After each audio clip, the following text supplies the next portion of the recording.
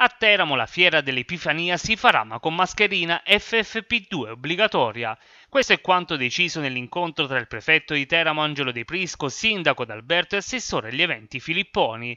100 gli espositori di prodotti enogastronomici, dolciumi, artigianato, abbigliamento e calzature che animeranno la città per l'intera giornata dalle 8 alle 20, ma niente befana dei vigili del fuoco in quanto il decreto attuale non ne consente lo svolgimento negli spazi pubblici.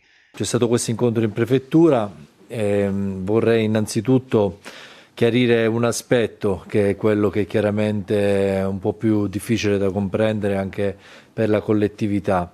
Ci sono delle città come l'Aquila che hanno deciso di annullare la fiera e secondo me giustamente perché parliamo di una delle fiere più grandi del centro Italia con oltre 400 espositori.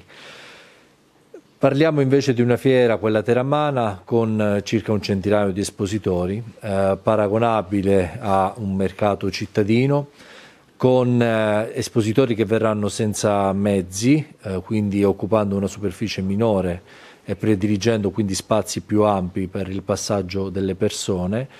Eravamo di fronte a un bivio. Se avessimo annullato questa fiera ci dovevamo porre anche il tema del mercato è chiaro che abbiamo deciso con un'ordinanza di in qualche modo tutelare ulteriormente la salute pubblica introducendo l'obbligo dell'FFP2. L'ordinanza sull'utilizzo delle mascherine obbligatorie FFP2 sarà in vigore anche per la giornata di sabato 8 gennaio per la ripresa del mercato ambulante settimanale. Sicuramente ci saranno degli operatori, eh, 8 della protezione civile più due pattuglie di vigili urbani che cercheranno in tutti i modi di evitare che ci siano assembramenti. Ecco, queste misure permettono insieme di continuare a permettere anche a questi commercianti di, di fare il loro lavoro e di evitare anche problemi di altro tipo, come quelli comunque economici dovuti a restrizioni forti eh, introdotte quando comunque siamo ancora in zona bianca.